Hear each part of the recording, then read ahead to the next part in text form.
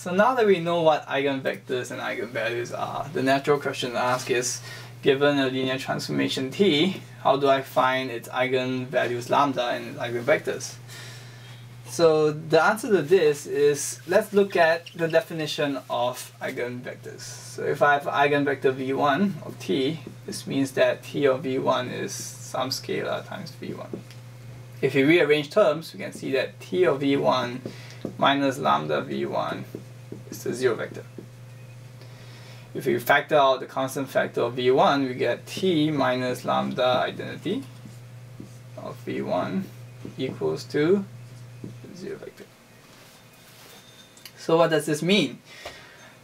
If we recall a definition of the null space of a matrix, we can say that v1 is part of or in the null space of t minus lambda i.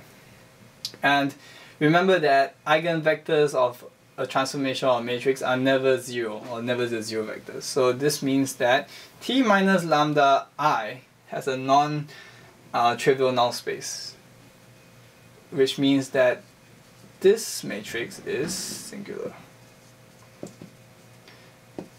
Now, what can we say about singular matrices?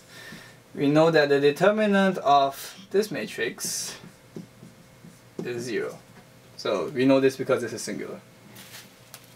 So this is an important um, fact that we, we are going to use to allow us to find the eigenvalues lambda of this transformation T. So let's illustrate this with an example. Let's let us define a transformation T which is represented by the matrix 1 minus 1, 1, minus 1, 1, minus 1, and minus 1, minus 1, 1. Okay, so it's a matrix of minus 1s with 1s on the diagonal and a 1 here. So t minus lambda i is going to look like this. 1 minus lambda minus 1, 1, minus 1, 1 minus lambda minus 1. So basically we are minus we are adding a minus lambda term along the diagonal. So what this means is that in order to find the eigenvalues lambda of t, we want to find all values lambda which makes this matrix here singular. So if we express or if we write out the determinant of this 3 by 3 matrix, we find that the determinant of t minus lambda i is equals to expanding it along um, the first column we have 1 minus lambda times the determinant of 1 minus lambda minus 1 minus 1 1 minus lambda minus minus 1 times the determinant of minus 1 1 minus 1 1 minus lambda and so on so we, we now know how to find the determinant of a 2 by 2 matrix. So if we write out the whole determinant in its entire expanded form and we factorize it, we find that this nicely factorizes out into a form that looks something like this. And the eigen, sorry, the eigenvalue, eigenvalues lambda of t are precisely the values of lambda which bring this polynomial to zero.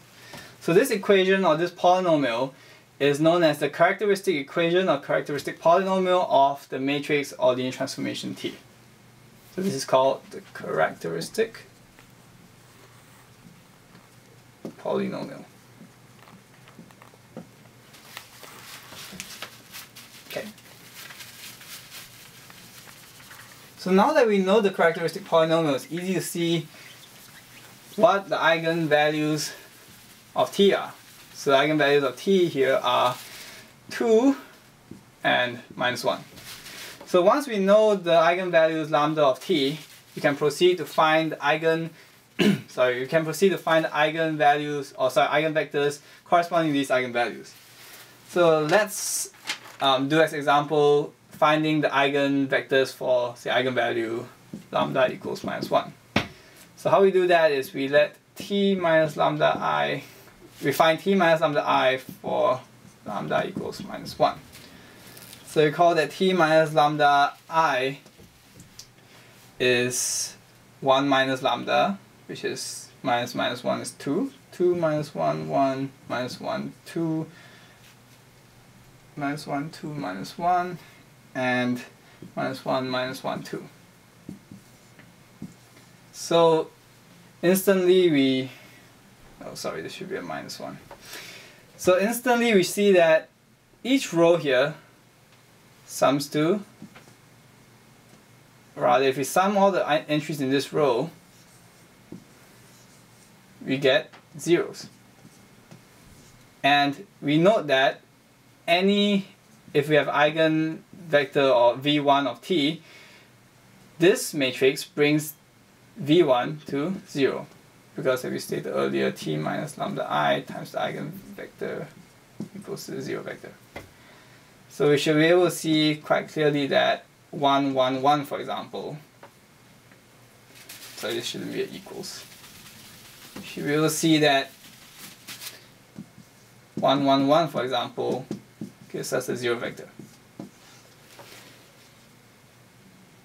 So what this means is that the vector 1, 1, 1 is an eigenvector of, sorry, an eigenvector of t with eigenvalue minus 1. And so any scalar times 1, 1, 1 is also going to be an eigenvector of t with eigenvalue minus 1. So this is how you find eigenvectors and eigenvalues of t for any linear transformation or matrix with the characteristic equation.